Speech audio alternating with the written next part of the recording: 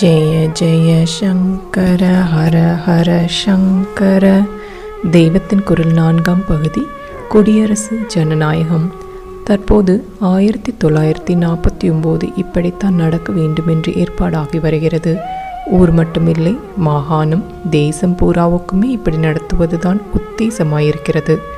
குடியரசாக தேசம் ஆகிற போது ஜனங்கள் எல்லாரும் ஓட்டு போட்டு பார்லிமெண்ட்டுக்கும் அசெம்பிளிக்கும் பிரதிநிதிகளை தேர்ந்தெடுத்து ஆட்சி நடத்த பண்ண வேண்டும் என்பதற்கு ஏற்பாடாகி வருகிறது. இப்போது முடியரசு சாத்தியமில்லை. ஈஸ்ட் இந்தியா கம்பெனி கொஞ்சம் கொஞ்சமாக பிடித்து அப்புறம் பிரிட்டிஷ் ராஜாங்கத்துக்கு தேசம் கைமாறின காலங்களில் இந்த தேசம் முழுவதற்கும் ஒரு ராஜா இருக்கவில்லை. பிற்பாடு ஸ்வதேச சமஸ்தானங்கள் என்று பெயர் பெற்ற ஏராளமான ராஜ்யங்களே அப்போது இருந்தன. நமக்கு சுதந்திரம் வந்தபோது இவற்றில் ஏதோ கொஞ்சம் ஸ்வய ஆதிக்கம் பெற்றிருந்தவற்றைத்தான் ஸ்வதேச சம்ஸ்தானம் என்று சொல்லிக் கொண்டிருக்கிறோம். நேட்டிவ் ஸ்டேட் என்பார்கள். இப்படி ஐநூற்றுக்கும் மேல் இருக்கின்றனவென்றால் இம்மாதிரி கொஞ்சம் ராஜ்யாதிகாரம் கூட கொடுக்காமல் பிரிட்டிஷ்காரர்கள் முழுங்கியே விட்ட சின்ன சின்ன ராஜ்யங்கள் எத்தனையோ இருந்திருக்கும். ஏகப்பட்ட ராஜாக்களின் ஆளுகையில் இருந்த தேசம் அப்புறம் வெள்ளைக்கார கிங் எம்பரரிடம் போயிற்று.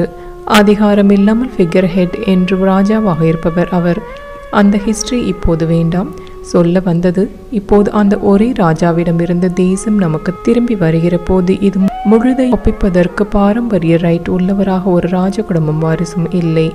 ஆனபடியால் மற்ற காரணங்கள் ஒரு பக்கம் இருக்க இப்போது தேசம் பூராவையும் ஏதோ ஒரு ராஜவம்சம் வாங்கிக் கொள்வதற்கு இல்லாமல் ஜனங்கள் தான் வாங்கிக் கொள்ள வேண்டும். குடியரசு தான் இங்கே வர முடியும். வெள்ளைக்காரர்களோடு ராஜா யாரும் சண்டை போட்டு தேசத்தை திரும்பவும் ஜெயிக்கவில்லை. ஜனங்களே தான் குடிய மட்டும் அகிம்சை மார்க்கம் என்று சொல்லக்கூடிய முறையில் ஓரளவு சாத்விக யுத்தம் செய்து ராஜ்யத்தை திரும்ப பெற்றிருக்கிறார்கள். அதனால் ஜனங்களே இதை ஆண்டு கொள்ள உரிமை பெற்றவர்களாக இருக்கிறார்கள். இதைத்தான் குடியரசு என்பது. குடியரசு என்றாலும் அத்தனை ஜனங்களுக்கும் ஆட்சியில் நேர் பொறுப்பும் பதவியும் கொடுக்க முடியாது. அதனால் அவர்களுக்கு பிரதிநிதிகளாக சில பேர்தான் ராஜாங்கத்தை அமைத்து நடத்த வேண்டும்.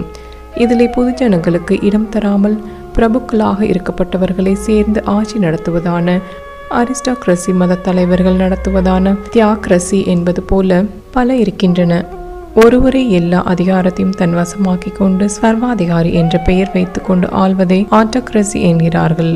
இம்மாதிரியுள்ள பல ஆட்சி முறைகளில் ஜனங்களில் ஒரு குறிப்பிட்ட வர்க்கத்தை மட்டும் சேர்ந்தவர்களாய் இல்லாமல் சகல ஜனங்களுக்கும் பிரதிநிதிகளாக இருக்கப்பட்டவர்களிடம் ஆட்சியை கொடுப்பதற்கு டெமோக்ரசி என்று பெயர். ஜனநாயகம் என்று நாம் சொல்கிறோம். இப்படி பொதுவான ஜன சமூகம் பூராவுக்குமான பிரதிநிதிகளை கொண்டு நம்முடைய குடியரசில் ஜனநாயகமாக ஆட்சியை ஏற்படுத்த உத்தேசிக்கப்பட்டிருக்கிறது. இது இப்படித்தான் இருக்க முடியும். கால தேச வர்த்தமானத்தில் இதை தவிர வேறு விதமாக ஏற்பாடு செய்வதற்கில்லை எனலாம்.